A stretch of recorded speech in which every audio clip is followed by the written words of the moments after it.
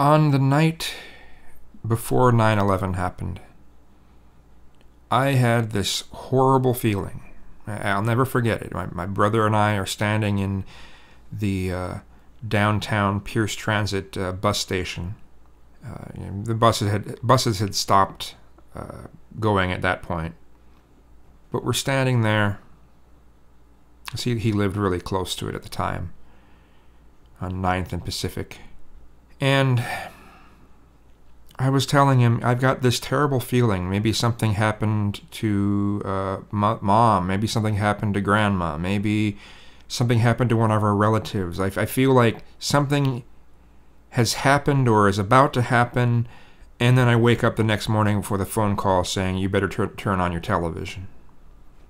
And today, all day, I've had a song uh, from the Dark Side of the Moon album.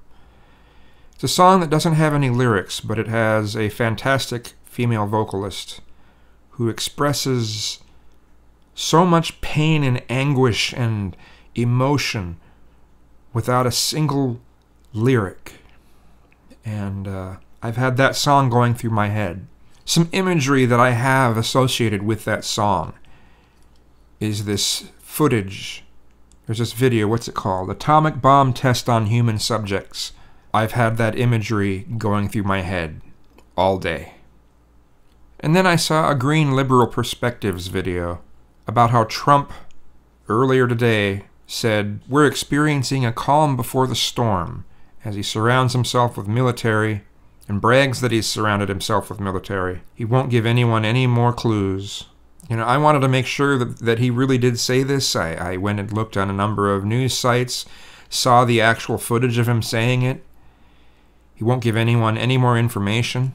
It is kind of strange. If he's about to do something, why would he announce that he's about to do something? I mean, yeah, he's not saying specifically what it is, but uh, I'm terrified. I'm terrified. I said I've, I've had that same feeling like I had the night before 9 11, mixed with the Pink Floyd song with the imagery of, of mushroom clouds. Then I find this out. I am not a religious person, but after seeing Trump say that, hearing Trump say that, I've been praying that there's not going to be a horrible, horrible disaster coming tomorrow. I've never been more scared of what the government could be doing than right now. Earlier, I was crying, even. Just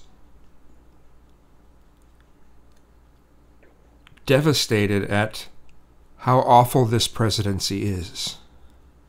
I am scared.